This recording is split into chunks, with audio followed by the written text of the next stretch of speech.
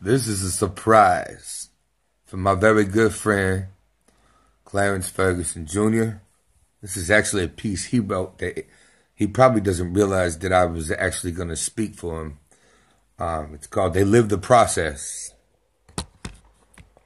So, without further ado, They Live the Process by Clarence Ferguson Jr., read by myself, Rebel Jones.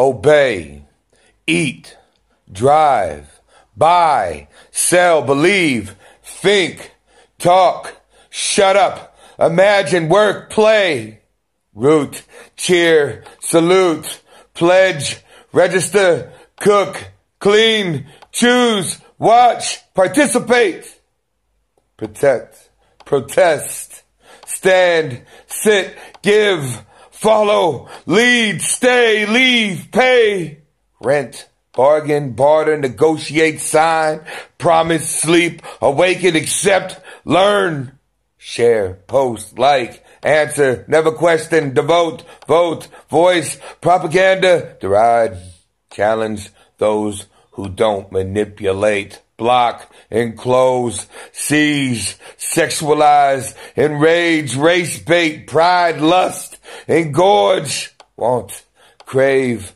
reach, react, dream, run, inhale, exhale, birth, death, breathe, die, repeat, slavery.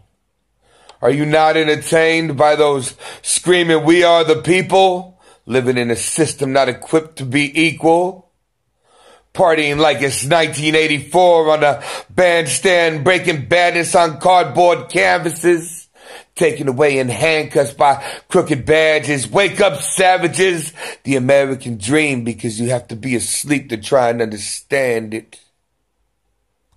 Good morning. Thank you for waking up today. I hope this did justice, my friend. Peace.